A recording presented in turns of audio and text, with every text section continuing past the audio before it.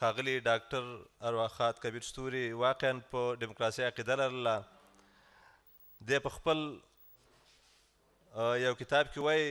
زموږ ملک د ګډ قامونو شریک کور دی زموږ ملک د ګډ قامونو شریک کور دی په دې ملک کې هر یو قام د بل قام ورور دی د خپل شمیر په کچ حق هر قام ته پکار دی د خپل شمېر په کچ حق هر قام ته په کار دی، داسې نه چې د یو تش د بل ډک شکور دی. د پروګرام په دې برخه کې د ناروې څخه راغلي ښاغلي حاجي صاحب او نادر سرشار څخه هیله کوو چې راشي او خپله وینا تاسو ته وړاندې کړي. ورونو او خویندو السلام علیکم نحمده ونصلي على رسوله الكريم فاعوذ بالله من الشیطان الرجیم بسم الله الرحمن الرحیم زبا مخکې له مخکې نه د دې جوړ شوي محفل په مناسبت یوه لنډۍ تاسو ته ووایم وایي ځمکې قلم دې دومره سخت دی او زمکې قلنګ دې دومره سخت دی ځوانان ستا نه کړي رالیږي تش پالنګونه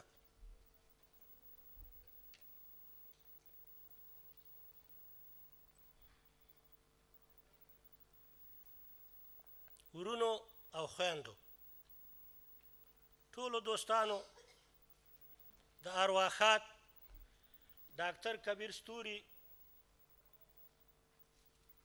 په سړیتوب، پښتنواله، پښتونولۍ، زړه سوي، یو بل د یو بل سره د مرستې کولو همدارنګه د ده په علمي اړخ باندې خبرې وکړي خو زه دلته غواړم چې داکتر کبیر ستوری خو زمونږ په منځ کې نشته هغه د خدای په حکم د عجل داعیې ته لبیک ویلی دی او ټول انسانان چې دي ټول ژوندي موجودات چې دي دا د خدای په حکم باندې مړه کیږي او کله چې الله تعالی په پاک قرآن کې فرمايي، کله چې د یو سړي د مرګ وخت ورسېږي، نو یو قدم به د هغې نه وروسته او مخکې نه شي. نو هغه خو اوس زموږ په منځ کې نشته. خو ښه هغه څوک دی چې د هغه یادونه وشي. او دا ډېر ښه کار دی چې موږ د خپلو مشرانو، دوستانو، لیکوالانو، شاعرانو، ملي مشرانو یادونه وکړو. خو ایا دا تش یادونه چې موږ دلته راټول شوي وو او یو څو کسو راته پکې خبرې وکړې، یو نیم پکې خپل شخصي نظریات هم وړاندې کړه، دا یوازې بسنه کوي اوس خو ډاکتر کبیر ستوره زمونږ په منځ کې نشته چې دلته زمونږ او ستاسو په منځ کې هلې ځلې وکړي نو د دې لپاره چې د ډاکټر کبیر ستوره نوم داغه هغه ارمانونه منګه ژوندۍ وساتو منګ باید څه وکړو منګه تاسو ته معلومه ده چې د ډاکتر کبیر ستوري ارمان پښتو او پښتونواله خپلې ژبې او قوم ته خدمت و او دا لکه چې نور دوستانو ویلي دا کوم جرم نه دی ځکه الله تعالی په قرآن کې فرمایي چې پیغمبر عربي دی ځکه ما قرآن په عربي ژبه ورته نازل کړ که چرته مې دا په بله ژبه ورته نازل کړی وای په عجمي ژبه نو بیا به خلکو ویل چې د پیغمبر عرب دی او دا ما ورته په په بله ژبه نازل کړی دی بله خبره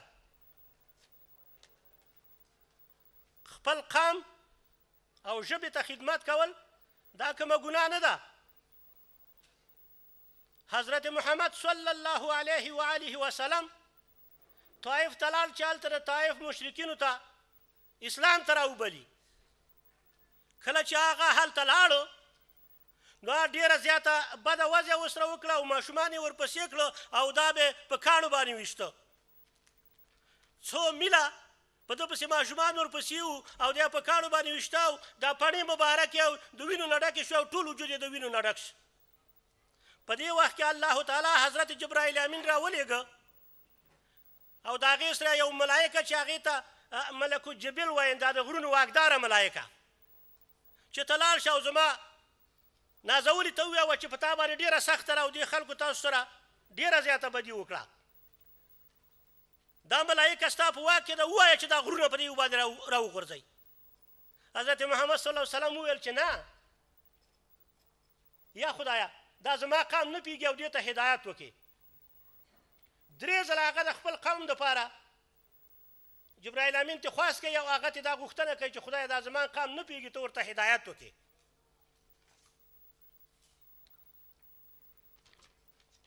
ځکه نو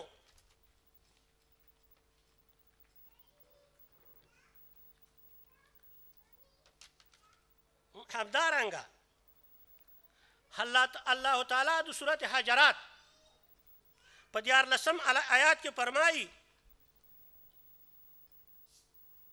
وایي چې مطلب یې داسې دی ای خلکو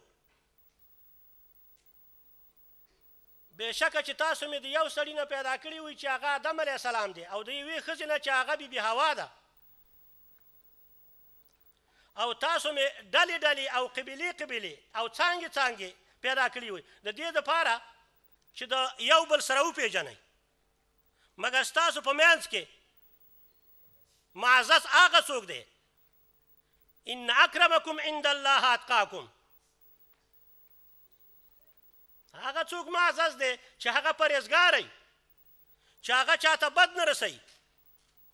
یو پاړسوان شاعر وایي،